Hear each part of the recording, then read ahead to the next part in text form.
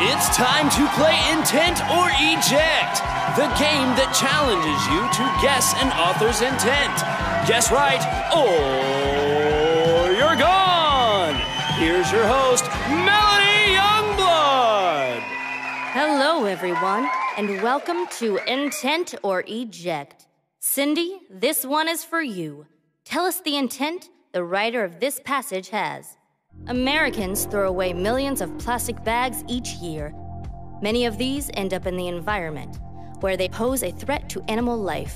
A plastic bag takes more than a lifetime to decompose. In order to cut back on this waste, you should take your own reusable bags to the grocery store.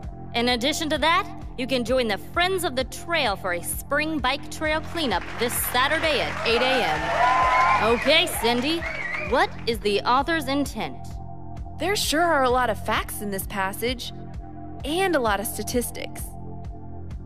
But the author also suggests to us what we should do. So I'm going to say the author is trying to persuade.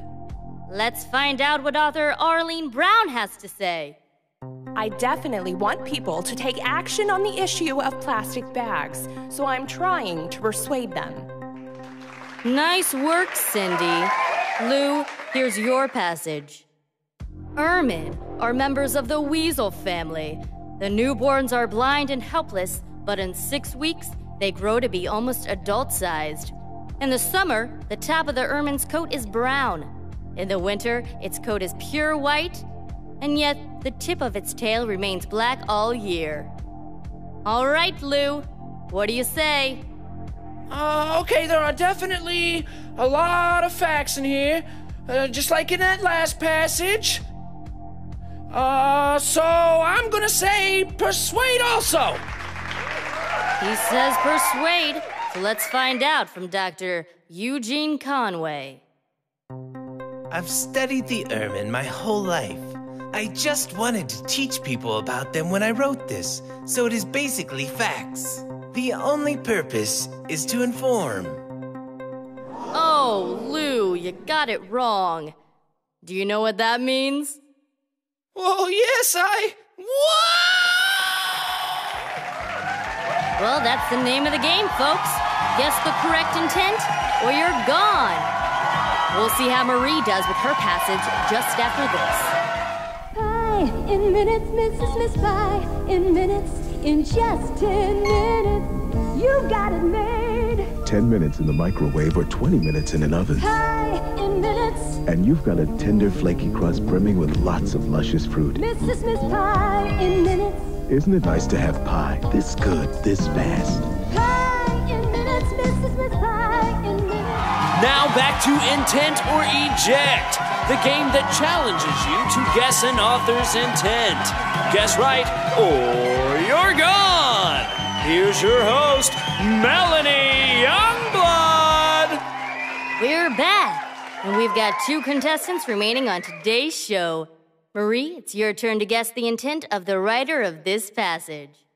Lila was doing dishes when Jake came in the room. She noticed immediately. Where's the watch I gave you for your birthday? she asked. Did you lose it already? Jake looked flustered. Oh, the watch, he said, trying to buy time. I was going to look for it, but uh, I just couldn't find the time. Okay, Marie, what do you say? This is definitely a story. We learn about what the characters are thinking and feeling, and the last line is a pun. I'm gonna say the author wants to entertain us. Let's find out from writer Martella Waters. I've been writing stories about Jake and Lily for years. Lily is always getting mad at Jake, but then he makes these puns which make her laugh. It's very entertaining for the reader. You got it, Marie. Okay, Cindy, we're back to you. Here's your passage. Hiking in Hawaii can be adventurous, fun, and exciting.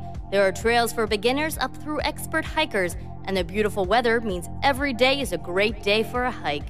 You must check out the great vacation specials available right now in Hawaii. Come for a hike and stay a while. Wow, I never realized Hawaii is a great place to hike. I really enjoy hiking too, so I will say the writer is trying to entertain us. She says entertain. Let's hear from author Leilani K and find out. This passage is just to let people know about the amazing hiking trails in Hawaii and hopefully to persuade them to visit. That's why I mentioned the great deals on vacations. Oh, usually when an author is trying to entertain you, they may tell a story or appeal to your imagination. So, sorry, Cindy. Do you know what this means? No, please, no! Ah! And that means Marie is today's big winner. Marie, we'll see you again in the Tournament of Champions. The rest of you, tune in next time as three more contestants get strapped in to play Intent or Eject.